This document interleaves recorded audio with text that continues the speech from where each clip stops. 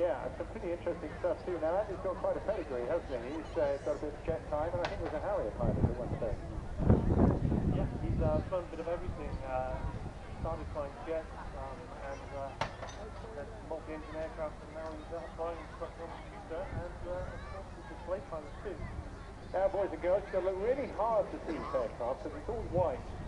And uh, we're faced with a lot of white clouds out there at the moment, and I can see Ian searching the sky to try and find uh, Andy in the. There's nothing there he is. So back to you, right in front of us, Andy. Go.